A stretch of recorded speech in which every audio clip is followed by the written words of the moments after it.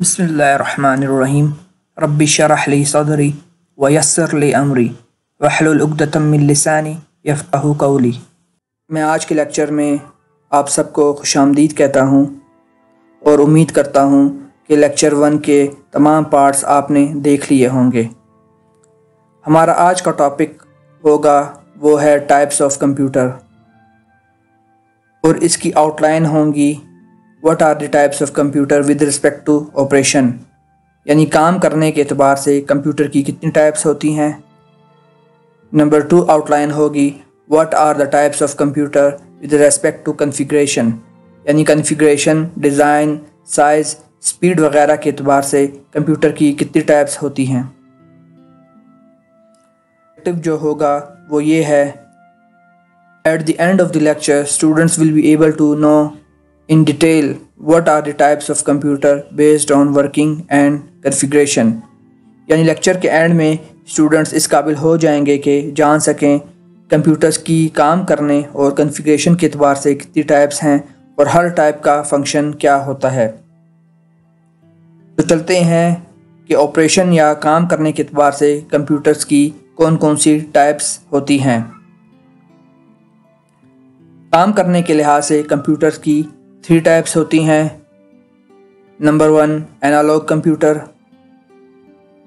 number two digital computer number three hybrid computer analogue computer इस type के computers में data को मैयर किया जाता है और ये डाटा कंटिन्यूस फॉर्म में होता है. Analogue computers results voltage signal की फॉर्म में शो करते हैं. और जो रिज़ल्ट्स प्रोड्यूस होते हैं, वो फिक्स नहीं होते, बल्कि वेरी करते हैं। यानी ये कंप्यूटर्स जो रिज़ल्ट प्रोड्यूस करेंगे, वो एग्जैक्ट बराबर नहीं होंगे। ये एनालॉग कंप्यूटर्स की एग्जांपल है। सबसे पहली एग्जांपल है हमारे पास एनालॉग वाच आप इसमें देख सकते हैं कि हमें डाटा को मैयर करना पड़ता है। यानी हमें देखना पड़ता है कि तीन बजकर कितने मिनट हुए हैं।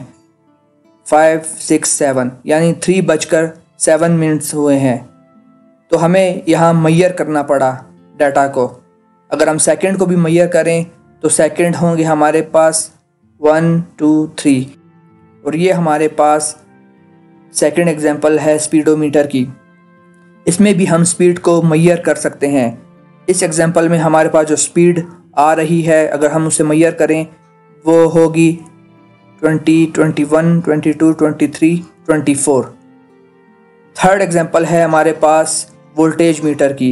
इसमें भी हम वोल्टेज को मैयर करते हैं और ये हमेशा वेरी करेगी। एग्जैक्ट हमारे पास नहीं आएगी। सेकंड टाइप है हमारे पास डिजिटल कंप्यूटर इस टाइप के कंप्यूटर्स में डाटा को काउंट किया जाता है इंस्टेड ऑफ़ मयरिंग और ये कंप्यूटर डिजिटल नंबर पर काम करते हैं सच एज नंबर्स ये नंबर बाइनरी नंबर होते हैं, जिसमें टू डिजिट्स हो सकते हैं ज़ीरो और वन और हर नंबर को हम बिट कहते हैं, यानी ये ज़ीरो एक बिट कहलाएगा और ये वन एक बिट कहलाएगा। डिजिटल कंप्यूटर रिजल्ट्स को स्क्रीन या मॉनिटर पर शो करते हैं। जबकि हमने देखा था कि एनालॉग कंप्यूटर्स में जो हमें रिज़ल्ट शो हो रहे होते हैं, वो सिग्नल या वोल्टेज की फॉर्म में शो हो रहे होते हैं। डिजिटल कंप्यूटर्स रिलायबल और एकोरेट रिज़ल्ट प्रोड्यूस करते हैं और एनालॉग कंप्यूटर से फास्ट परफॉर्म करते हैं।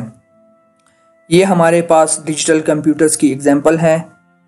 ये आप देख सकते हैं डिजिटल वॉच इसमें हमारे पास एग्जैक्ट वैल्यूज़ आ रही हैं। हमें मैयर नहीं करना पड़ रहा, बल्कि हम इसमें काउंट कर रहे हैं और हम ये कह सकते हैं कि एक बजकर नौ मिनट और फोर्टी नाइन सेकेंड हुए हैं।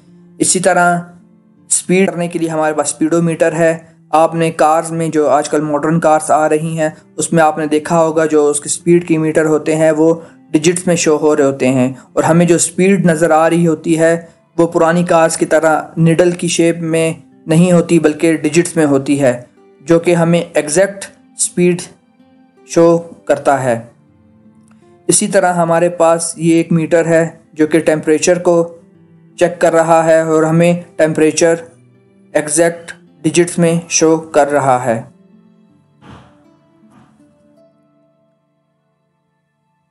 थर्ड टाइप है हमारे पास हाइब्रिड कंप्यूटर्स इस टाइप के कंप्यूटर्स में एनालॉग कंप्यूटर और डिजिटल कंप्यूटर के बेस्ट फीचर्स होते हैं। यानी दोनों के फीचर्स को हम कंबाइन कर देते हैं। फॉर एग्ज़ाम्पल हमने हॉस्पिटल के आईसीयू में मशीन देखी होगी, जिसमें एनालॉग और डिजिटल कंप्यूटर्स दोनों के फीचर्स कंबाइन होते हैं। एनालॉग डिवाइसेस पेशेंट्स का टेम्परेचर ब्लड प्रेशर और दूसरे साइंस मैयर करती है, जो कि सिग्नल्स की फॉर्म में होते हैं। एनालॉग टू डिजिटल कन्वर्टर इन सिग्नल्स को डिजिटल फॉर्म में कन्वर्ट करता है और करने के बाद इसे स्क्रीन को सप्लाई कर देता है, जो कि नंबर्स की फॉर्म में होते हैं। देखते हैं पिक्चर में जो हमारे पास हॉस्पिटल आईसीयू मशीन्स होती हैं, कि वो कैसे होती हैं।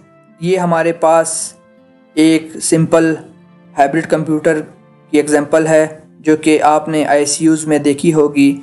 इसमें हमारे पास एनालॉग सिग्नल्स भी होते हैं, जो पल्सिस की सूरत में होते हैं, और मॉनिटर भी स्क्रीन भी होता है, जहाँ हमें डिजिट्स नज़र आ रहे होते हैं। हाइब्रिड कंप्यूटर की एग्जांपल जो हो सकती हैं, वो है स्पीडोमीटर इसमें आप देख सकते हैं कि हमारे पास एनालॉग फ़ंक्शंस भी हैं और डिजिटल फीचर्स भी मौजूद हैं। आजकल की आपने मॉडर्न कार्स देखी होंगी, जिसमें ये फैसिलिटी होती है। उसमें हमारे पास एनालॉग मीटर भी होता है, जहाँ से हम स्पीड को मैयर कर सकते हैं और डिजिटल मीटर भी होता है। जहाँ हमें एग्जैक्ट नंबर में स्पीड का पता चल सकता है। सेकंड एग्जांपल है हमारे पास हाइब्रिड वॉच जिसमें हमारे पास एनालॉग शेप में भी डाटा हो, मैयर होता है और डिजिटल फॉर्म में भी डाटा कैलकुलेट होता है। अब देखते हैं कि कन्फिग्रेशन के अतबार से कंप्यूटर्स की कौन कौन सी टाइप्स होती हैं। कन्फिग्रेशन आर्किटेक्चर काम करने की पावर साइज़ ऑफ़ मेमोरी और दूसरी कैपेबिलिटीज़ के अतबार से कंप्यूटर को फॉलोइंग क्लासेस में तकसीम किया जा सकता है।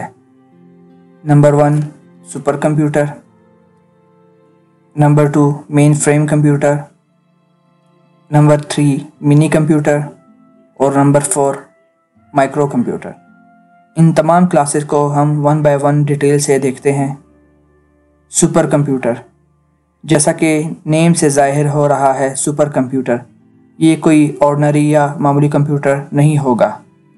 अगर हम कन्फिग्रेशन साइज़ प्रोसेसिंग पावर और दूसरी कैपेबिलिटीज़ के अतबार से देखें तो सुपर कंप्यूटर दुनिया के सबसे लार्जेस्ट सबसे फास्टेस्ट और सबसे महँगे तरीन कंप्यूटर्स होते हैं।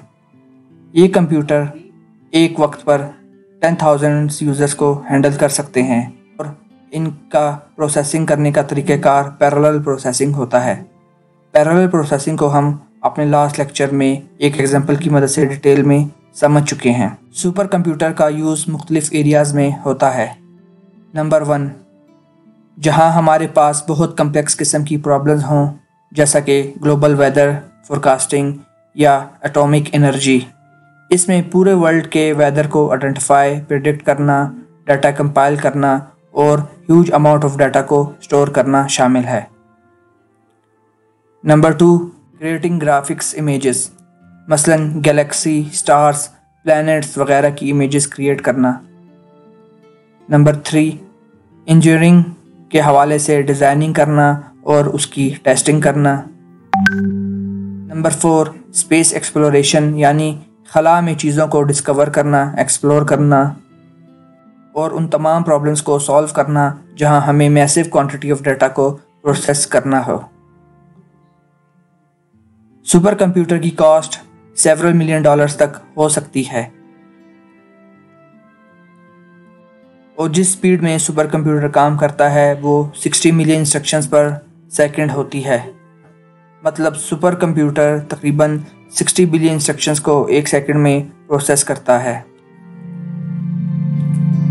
www.top500.org एक वेबसाइट है जिसमें दुनिया के टॉप 500 इंतहाई ताकतवर और तेज़ तरीन कंप्यूटर की लिस्ट होती है। 1993 से तेज़ तरीन कंप्यूटर्स की लिस्ट बनाने का सिलसिला शुरू हुआ था और हर सिक्स मंथ के बाद इसे अपडेट किया जाता है। रिसेंटली जो लास्ट लिस्ट आई है अपडेट होकर, वो है नवंबर 2019 की। इस लिस्ट के मुताबिक जो सबसे फास्टेस्ट सुपर कंप्यूटर है, उसका नाम है समिट जो कि यूनाइटेड स्टेट्स का कंप्यूटर है। इसी तरह जो रैंक नंबर सेकंड पर आया है, वो सीरा है, ये भी यूनाइटेड स्टेट्स का कंप्यूटर है।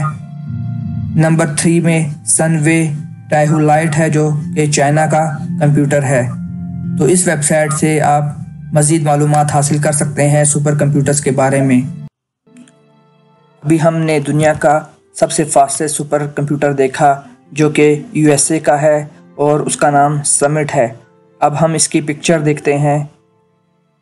ये हमारे पास स्क्रीन पर जो नज़र आ रहा है, ये समिट सुपर कंप्यूटर है, जो कि यूएसए में एक लेबॉर्ट्री में इंस्टॉल किया गया है। और आप इसका साइज़ भी देख सकते हैं कि ये कितना लार्ज है। इसी तरह अगर आपने बाकी सुपर कंप्यूटर्स की पिक्चर्स देखनी हो तो आप इसी वेबसाइट यानी www.top500.org को विज़िट कर सकते हैं। और यहाँ आप इन कंप्यूटर्स के फीचर्स को भी देख सकते हैं।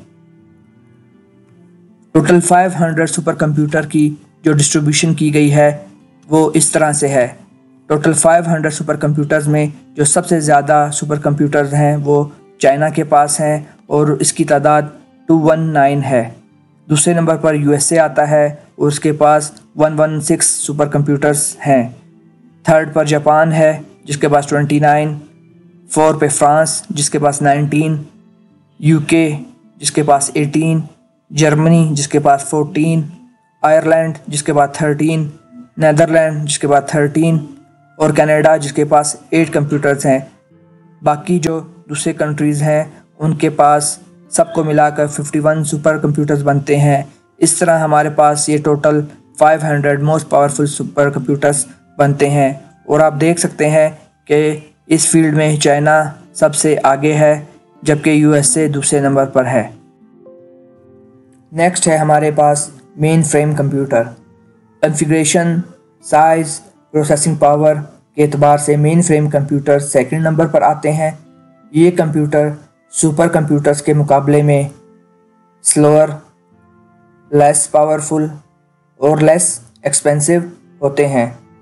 ये कंप्यूटर्स 100 यूज़र्स को हैंडल कर सकते हैं। Use of mainframe computer mainframe computers वहाँ यूज़ होते हैं जहाँ लार्ज अमाउंट ऑफ़ डाटा हो। और उनकी प्रोसेसिंग टाइम टू टाइम हो रही हो, यानी लार्ज डाटा वक्त के साथ साथ चेंज हो रहा हो। और इस डाटा को मल्टीपल यूज़र एक साथ एक्सेस कर रहे हों।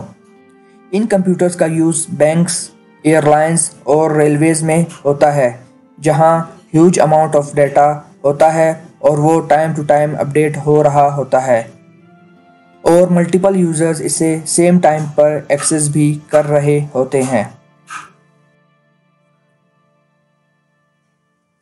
फॉर एग्ज़ाम्पल अगर किसी शख्स का से एक्स वाई जेड बैंक में एक अकाउंट है, ज़ाहिर सी बात है इस बैंक में और लोगों के भी अकाउंट्स होंगे।